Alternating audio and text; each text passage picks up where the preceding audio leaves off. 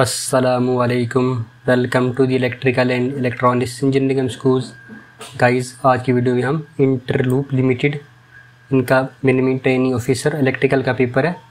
ये 2019 में ये पेपर कंडक्ट हुआ है। MTO electrical minimal management training officer electrical paper 2019 तो गाइस ये हमारा इस वीडियो का पार्ट नंबर वन है। इस पार्ट वन में हम जर्नल नॉलेज के एम को डिस्कस करेंगे। तो गाइस इस क्वेश्चन में इस पेपर एक क्वेश्चन को देख लेते हैं पार्ट वन के क्वेश्चन है। तो फ्रेंड्स आप देख सकते हैं Interloop limited management training officer M T electrical test 2019 तो part number one general knowledge M इसमें जनरल नॉलेज का आज का फ़र्स्ट क्वेश्चन है।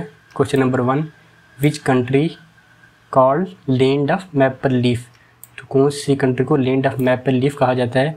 Option A Africa option number B China option C Canada option number D America तो correct answer question one का right answer option number C Canada तो Canada is called land of maple leaf option number C is the correct choice question number two है guys question number two fear of heights is called. Hyphobia altophobia heliophobia acrophobia तो fear of height is का is acrophobia option number D correct choice है इस question की। Question number three को देख लेते हैं। Question number three which continent has no desert तो कौन सा कॉन्टिनेंट जिसमें डेजर्ट नहीं है? तो ऑप्शन नंबर ए में कहता है यूरोप ऑप्शन नंबर बी में Asia option number C Australia और ऑप्शन डी में कहता है नॉर्थ अमेरिका तो इसमें करेक्ट आंसर बनता है friends option number A Europe has no desert तो यूरोप वो कॉन्टिनेंट जिसमें कोई भी डेजर्ट नहीं है. तो गाइस नेक्स्ट क्वेश्चन को देख लेते हैं. Question number 4 is question number 4 which of the following is the first generation of computer? तो ये चार जनरेशन यहाँ पर ये कंप्यूटर की गिवन है, इसमें कौन से जो है वो फ़र्स्ट जनरेशन है? करेक्ट जो आंसर बनता है option number C E D S E D S A C basically ये फ़र्स्ट जनरेशन है कंप्यूटर की। इसकी डिटेल डिस्क्रिप्शन में आपको बता देता हूँ। ये गाइस इसकी डिटेल डिस्क्रिप्शन आप देते हैं। The example of first generation computer include the E N A I C E D V A C तो ये तमाम इसकी ये फ़र्स्ट जनरेशन कंप्यूटर की ये बेसिकली एग्जांपल्स हैं। इस तरह E S D A C is a first generation computer ये हमारा करेक्ट आंसर था। तो electronic delay storage automatic calculator इसका जो बनता है वो stand for electronic delay storage automatic calculator ये बेसिकली फ़र्स्ट जनरेशन है कंप्यूटर है। तो मज़ीद डिटेल आप किसी पढ़ सकते हैं। काफ़ी इंपॉर्टेंट डिटेल्स हैं। इसमें से हम स्कूल आ सकते हैं। इनमें से तो फ़र्स्ट जनरेशन जो है you use the vacuum tube for circuit तो फ़र्स्ट जनरेशन जो कंप्यूटर थी, वहाँ पे हम वेकम यूज़ को ट्यूब को यूज़ किया जाता है एज सर्किटरी इसको आपने याद रखना है। तो गाइज़ नेक्स्ट क्वेश्चन को देख लेते हैं।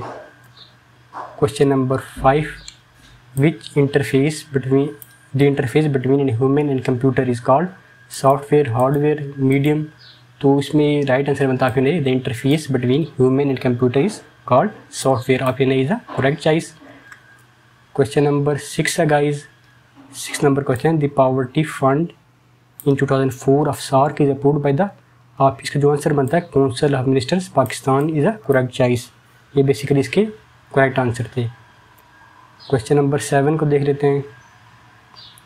सेवन नंबर क्वेश्चन है. Where is the Masjid al Haram is situated तो ये बेसिकली ये मस्जिद हिजाज में मदीना में ताइफ या फिर मक्का में. करेक्ट चॉइस है option number D, Mecca.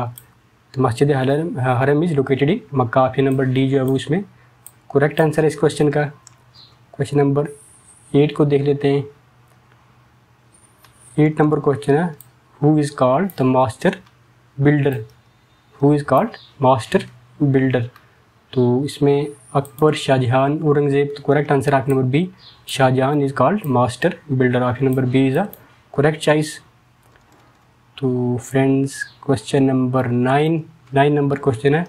In the word geography the word geo means geography word में जो द वर्ड जियो मीन्स इसका क्या मीनिंग है? तो इसका जो अर्थ मून मार्स या फिर star in galaxies correct answer है is the word geo means earth option number है इज़ करेक्ट चाइज इसकी मजीद डिस्क्रिप्शन फ्रेंड में आपको बता देता हूँ. इसको आप याद रख लें सिमिलर क्वेश्चन इसका. एक सिमिलर क्वेश्चन ये आप देखते हैं. ये किसी का सिमिलर क्वेश्चन है।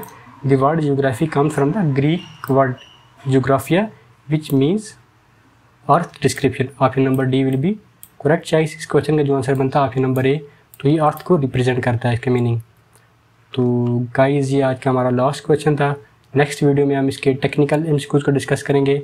आई होप आपको हमारी आज की वीडियो पसंद आई होगी। Thank you so much